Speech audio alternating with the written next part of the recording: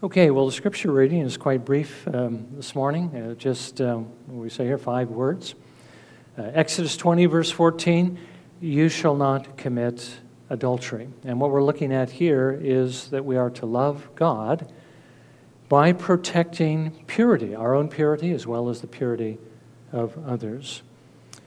Now, we have seen in this series that um, God has loved us with an infinite and eternal love, with an affection that is so strong and so great that he was willing to give that which he cherished the most, which is his infinitely precious Son, that he might save us and that he might have us forever. And really, we, we can't begin to fathom how great God's love is for us. But remember, we saw at the beginning of the series, we do have to believe that God really exists that there is someone who really, you know, uh, is in heaven. I mean, he's really everywhere, but he is in heaven who cares for us and who had this great love for us that we really were in danger and he really did save us.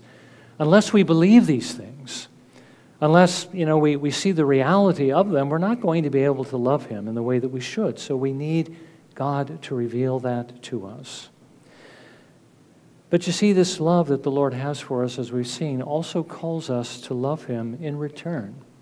To love Him with the same kind of intensity, the same kind of fervency that we see in our Lord Jesus Christ.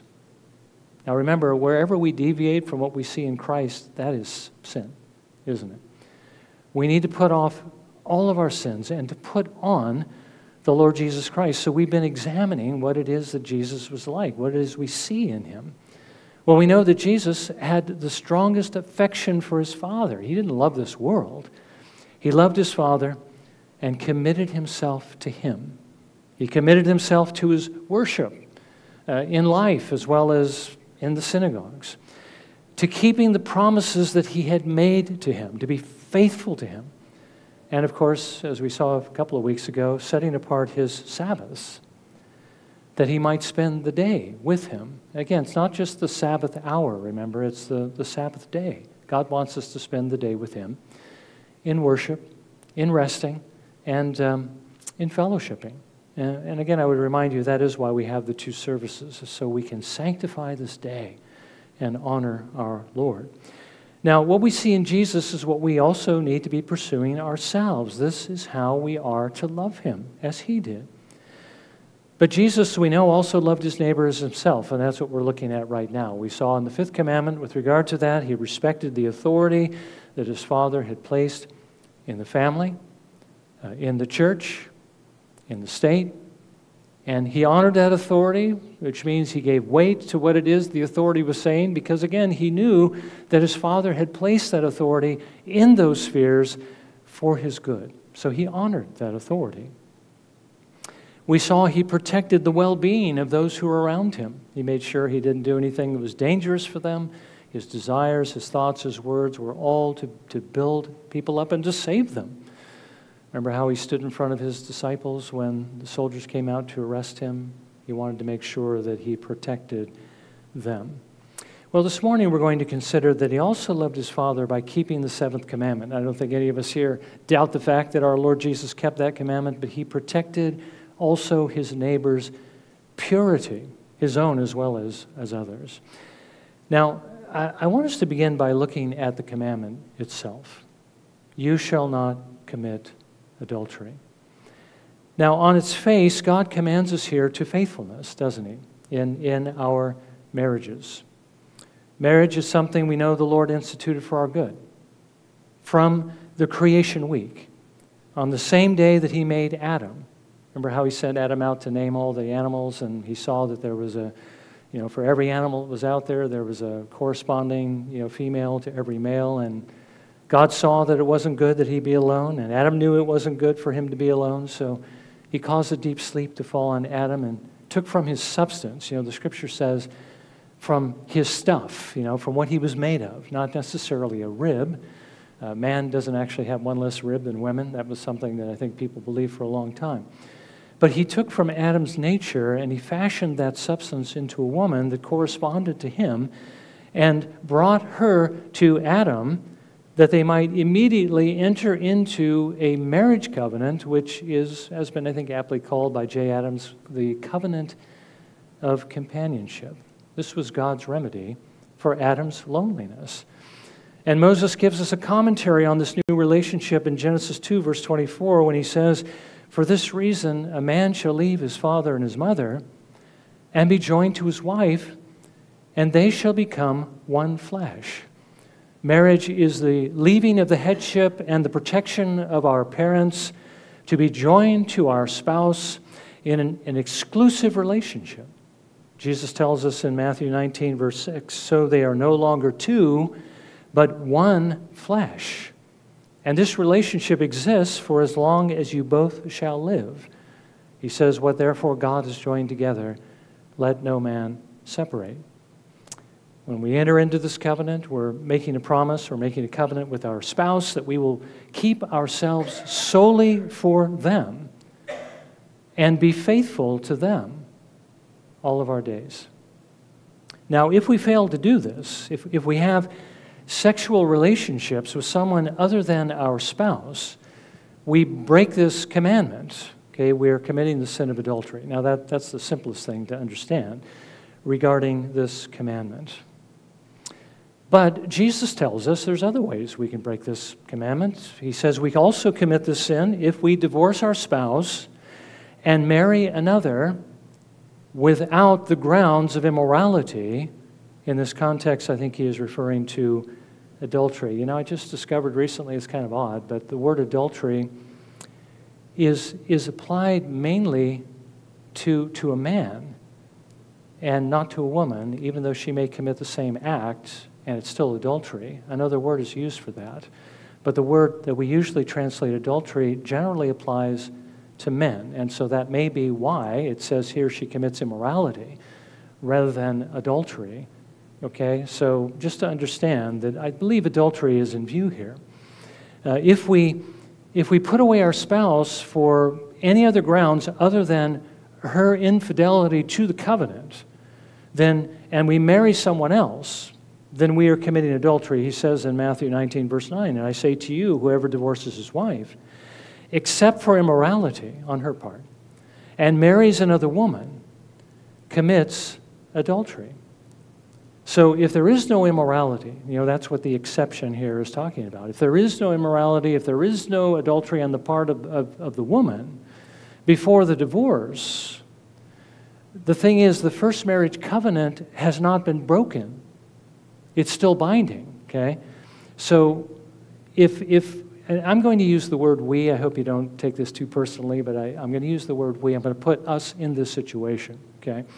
So if we put away our spouse, and our spouse hasn't committed adultery, and we enter into a second marriage, then we're committing adultery because the first marriage covenant is still binding, okay? That's the one that we're breaking when we enter into this second relationship.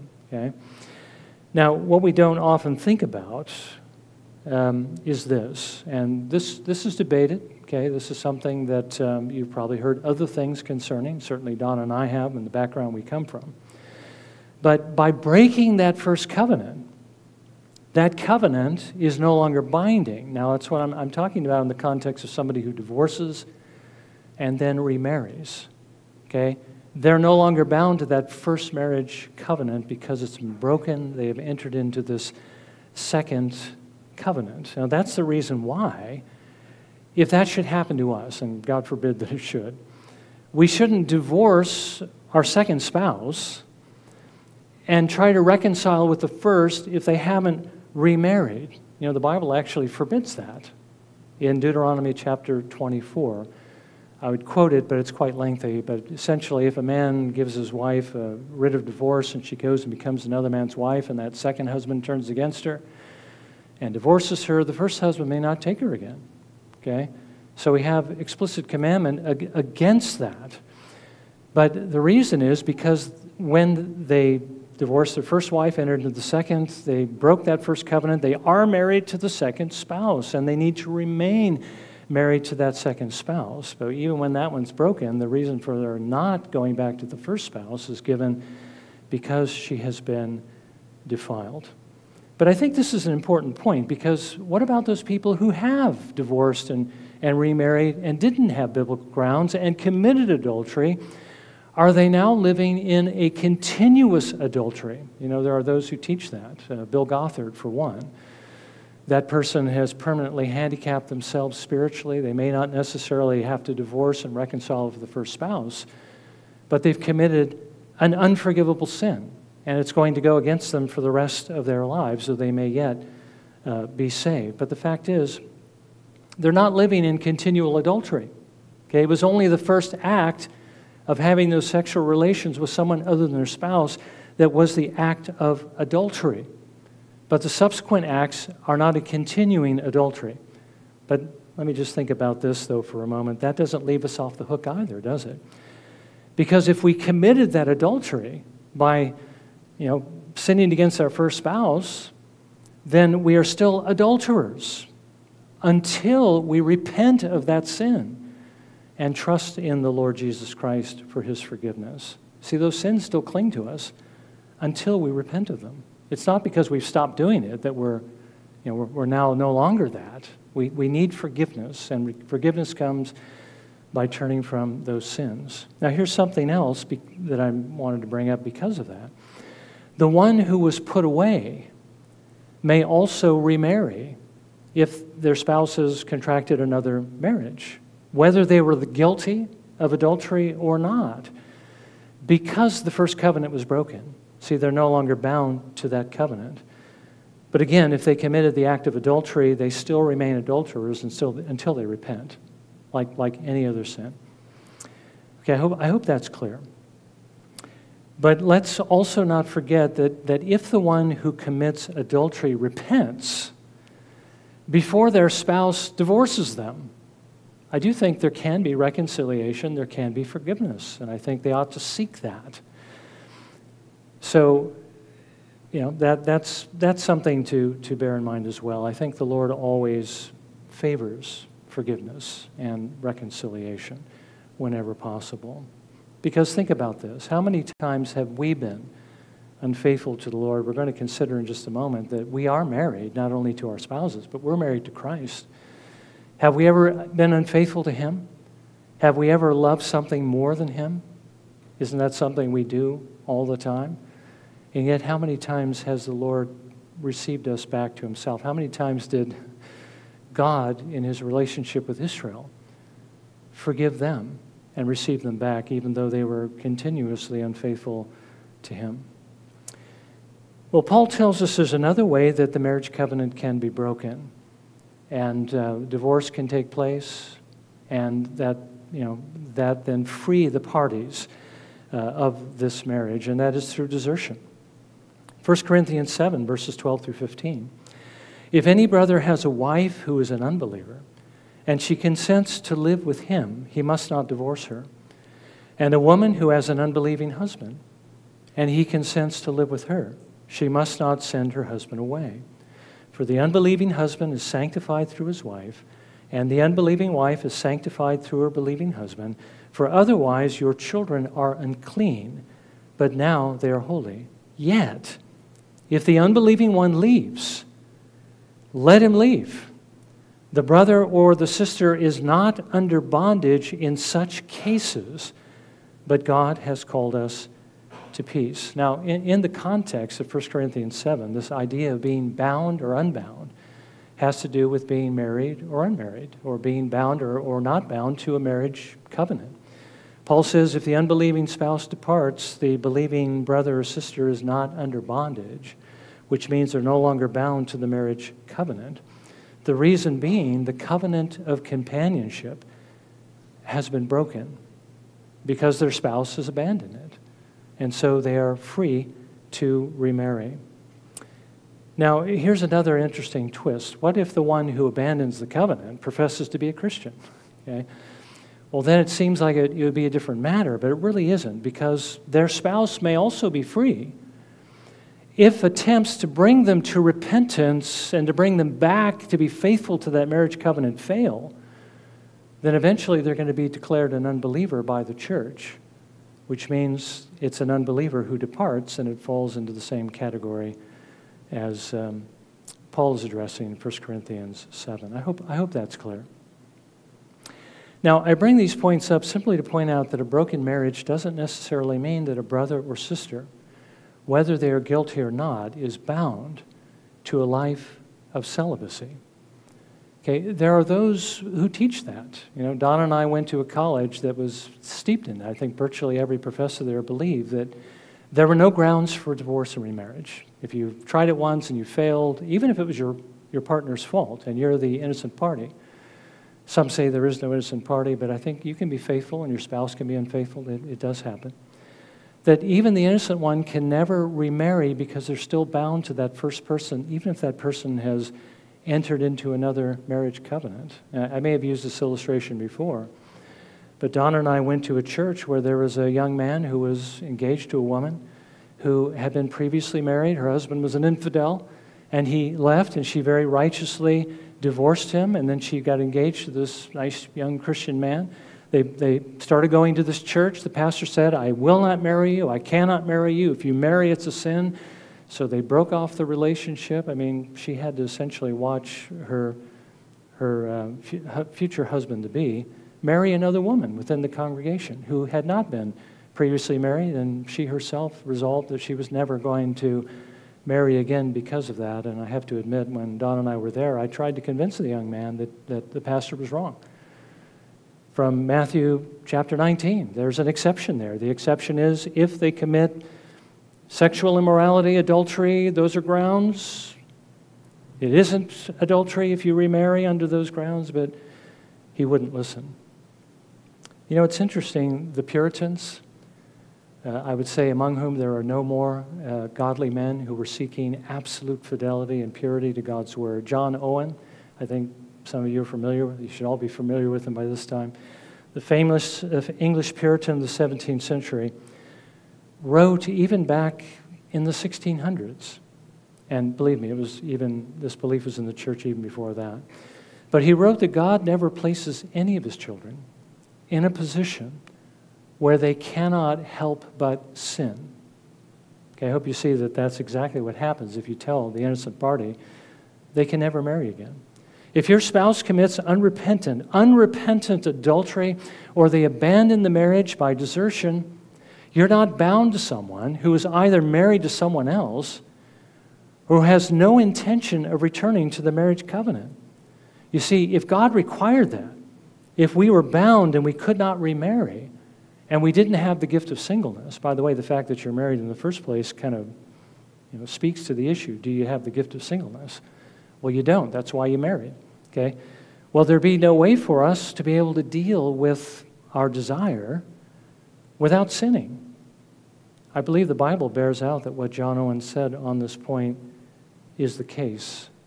And you know, that's why the exceptions exist. That's why the Apostle Paul wrote what he did regarding desertion, why Jesus spoke about the exception of adultery. Now, the seventh commandment, again, let's get back to the main point. The seventh commandment calls us to be faithful in marriage. I've talked about all the ways we can be unfaithful, but we need to be faithful to our marriage. And Jesus is our example in this area as he is in every other area. Now, it's interesting. It's true that our Lord Jesus had the gift of singleness. We know that in his earthly life, he, he did not get married. Uh, he was perfectly content with that, that he might devote himself completely to his Father's work. You know, the Apostle Paul did precisely the same thing.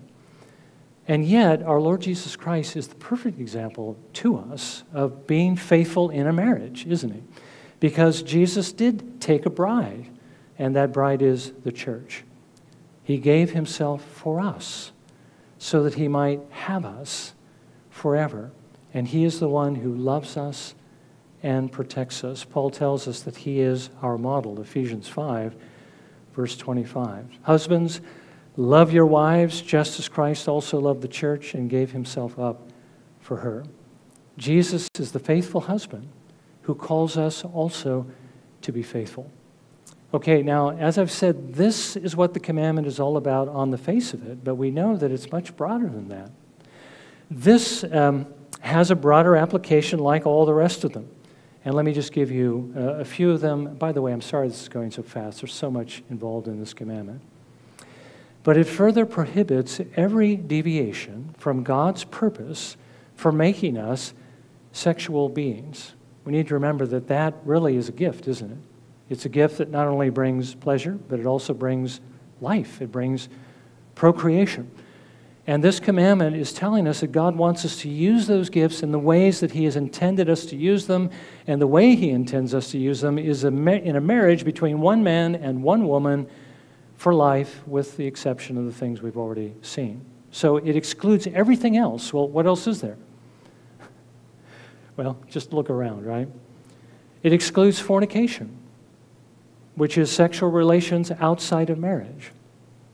It excludes all forms of homosexuality. Okay, homosexuality is, as we know, is taking all, all different kinds of faces. That's why the, you know, the whatever the um, the lettering you know that's used to represent that movement continues to expand because there's a new deviation that, that keeps coming up. So transgenderism or whatever it might be. Uh, sexual relations with members of the same sex. That's essentially what all that is. Now, Paul writes this again in 1 Corinthians 6, verses 9 and 10. Or do you not know that the unrighteous will not inherit the kingdom of God? Do not be deceived. Neither fornicators, okay, those having sexual relations outside of marriage. I can't tell you, even 30 years ago, when, when Don and I were in Calvary Chapel, how many of the people we knew that were engaged, that were engaging in sexual relations before they got married? Because they're thinking, we're getting married, so what difference does it make? Well, it makes a big difference. Because God says fornicators will not inherit the kingdom of heaven. It's, it's a sin. Okay, but then he goes on to say, idolaters nor adulterers nor effeminate nor homosexuals. Now, it's been pointed out that effeminate and homosexual are simply two different types of homosexuals. The effeminate is the more, let's say you have two men, he's the one that takes more of the woman's role, and the homosexual is the one who takes the more dominant men's role. That's what these two words mean. Okay, those who engage in these things will not inherit the kingdom of God nor thieves, nor the covetous, nor drunkards, nor revilers, nor swindlers will inherit the kingdom of God. And again, note here, it's not just those, you know, who engage in sexual sin that aren't going to inherit the kingdom. Paul is saying if we practice any sin, we will not inherit the kingdom. We have to repent of all of them, fight against all of them, strive to put on Christ in every area, because that's what Christians do. They love the Lord and they want to please Him in everything. Yes, we slip and fall, but we also get back up and we continue to pursue Christ's likeness. Now, this further prohibits incest, which is sexual relations between those who are too closely related. You'll have to refer to the Old Testament for those relations, but here's one example. Paul writes to the Corinthians, 1 Corinthians 5, verses 1 and 2.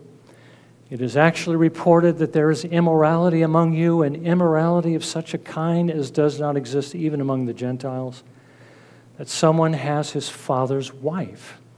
You become arrogant and have not mourned instead, so that the one who has done this deed would be removed from your midst. Well, that's too close of a relationship. You know, we don't know whether the, you know, her husband was still living or not, but it doesn't matter, does it?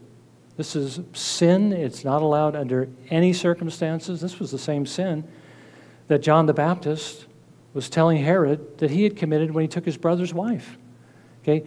His sister in law. Too close of a relationship, okay, as well as the adultery that was involved.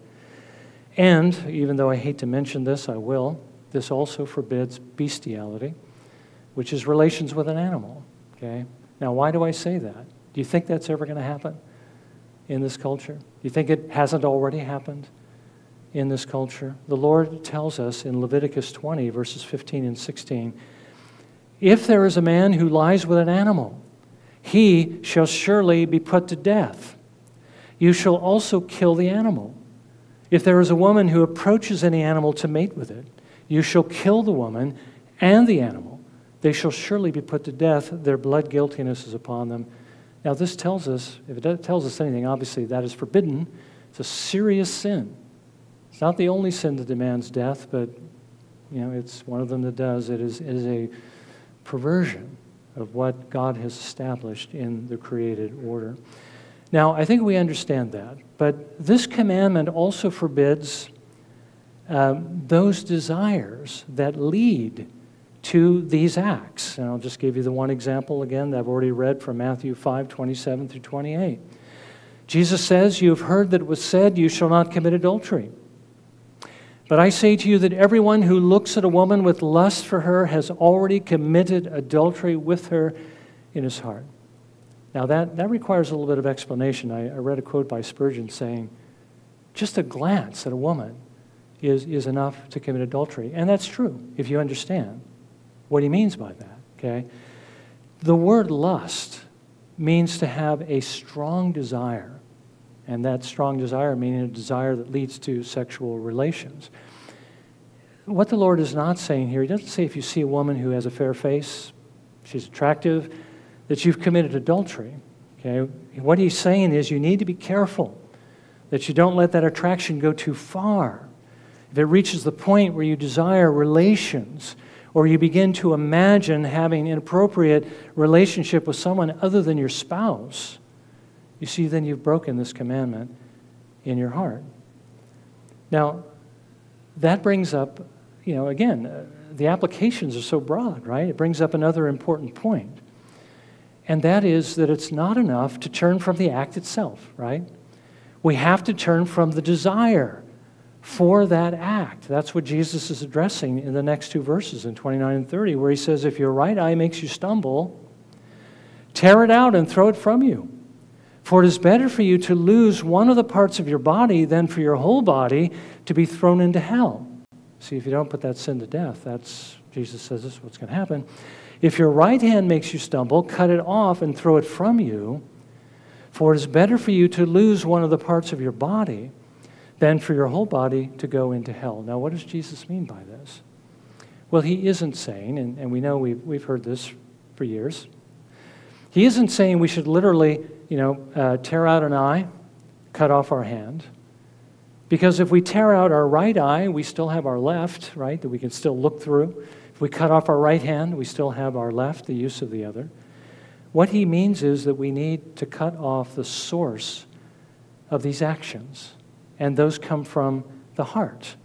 We need to kill the desire for these sins in our hearts. If we fail to do that, Jesus tells us we're still guilty of breaking the commandments, okay?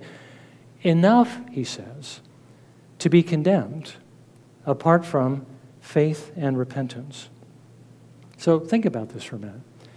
A person who doesn't commit murder, but who wants to murder somebody in his heart, is still a murderer, okay? He still has broken the sixth commandment. The one who doesn't steal, but who still covets and wants what somebody else has, even if they don't steal it, is still a thief. And the same is true, Jesus is saying, of adultery, of fornication, of homosexuality, of incest, and bestiality. Okay? We may not be committing these acts, but if we still want to commit these acts, then we're guilty of breaking the commandments. Now, I hope you see where I'm going with this. Okay. Have you heard of the revoice movement within Reformed circles? The idea that a homosexual can be a Christian in good standing in the church as long as they abstain from the act of homosexuality, but can still embrace the fact that they are a homosexual, okay? That they have this identity and this desire. They don't consummate the desire, but you know, they, they, they hold on to that identity, okay? Well, what's, what's the problem with that? It's not enough to abstain from the action. You also have to fight against the desire and put it to death, not embrace it as your identity. Now, they, they would argue, you know, that um, we're, we were born with this desire. God made us this way. This happens to be our particular Achilles heel. Well, maybe it is, okay, but still has to be put to death. We know that every one of us is born with sinful desires. And they may not be the same for each one of us. But the thing that is the same for each one of us is this that if we are followers of the Lord Jesus Christ, we must put on Christ, not only in our actions but also in our desire. That means we need to put every sinful desire to death and not identify ourselves with those desires. I mean, if a man has, has difficulty with, with lust, does he identify himself as a fornicating Christian, uh, an adulterous Christian because he has these desires? No, he puts those desires to death and he identifies as a Christian. That's what our Lord calls us to do. Now the question comes how do we put these desires to death? Well, first of all, don't identify with them, okay? That is not you, okay? That is the old man that has been crucified with Christ. Identify with the new man, okay? And then begin to feed the desires of the new man. Well, we need to, first of all, keep ourselves from being exposed to the things that feed the old man. Again, remember that illustration of the, um, the two, well, the two dogs, you know. Um, if you have two dogs, they're going to fight each other. The one that wins is going to be the one that's fed and the strongest. Um, the desire that you feed um, in, your, in your heart is going to be the one that is the strongest. Okay? We need to feed that love for Christ. We need to starve that desire for ungodliness, not expose ourselves to the things that provoke the lusts within our hearts, but instead nurture the love we have for Christ by spending time in the Word and in prayer and walking with our Lord Jesus in his paths of righteousness. So, again, the commandment is be faithful to, to our marriage covenants. It's broader than that. It tells us that we need to conduct ourselves in the way that the Lord has made things to work. The only legitimate sexual relations are within the bounds of marriage with one's own spouse, and all these other things are perversions of what God has created, and they're condemned by Him. If one is to enter into the kingdom of heaven, it is a sin that needs to be repented of. But let me just end on this one point. We are not only to protect our own purity, but we also need to protect the purity of others. Certainly, our Lord Jesus Christ did that as well. We are to love our neighbors as we love ourselves which means we need to have the same concern for them and their thought life and their desires and their actions as we have for our own. So let, I just say that to say this. We need to make sure that we don't become the cause of tempting anyone else, of provoking impure thoughts in other people by talking about these things, maybe in encouraging them to look at such things or even by things that we may wear. Okay? Um, we know the things that, that cause these ideas, these desires, are brought into the gateway of the eyes. We need to be careful to make sure that we promote purity and not immorality. Our response or our responsibility as believers is to help others to do two things come to faith in Christ if they don't know Him, and to help believers become as much like him as possible. So we need to be careful that we don't place a stumbling block in front of anyone, but rather give them every reason to pursue what is good and what is right. Well, let's, let's bow for a moment of prayer and let's, um, let's ask the Lord to help us to apply these things. I know there was a lot. But remember, fidelity to God's established order, fidelity to our marriage covenants, purity of mind and of heart in ourselves and in others. And let's commit ourselves to doing this, particularly as we come to the table, there to renew our covenant, to follow Jesus, to become more like Jesus, not just in the area of sexual purity, but in every area. Okay. Let's pray.